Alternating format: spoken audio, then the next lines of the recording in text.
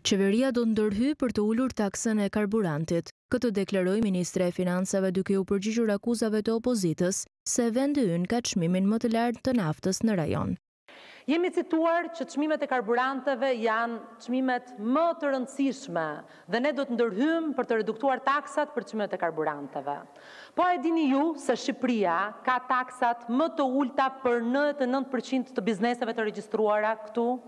A e dini ju se Shqipëria ka tatimin më të ulët për pagat deri në dyzet mijë lekë? Dhe në të ardhmen, ky do të jetë tatim më të ulët, tatim zero madje, nuk ka tatim për paga deri në dyzet mijë lekë.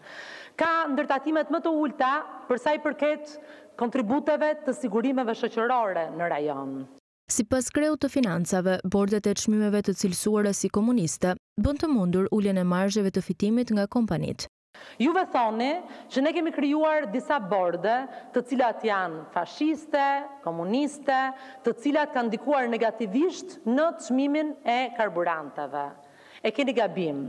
Bordet kanë bërë të mundur që marzhi i fitimit bruto, përfshirë kostot operacionale, këtë vit, që nga fillimi i miratimit të bordeve, të jetë nga pesë deri në gjashtë për qind.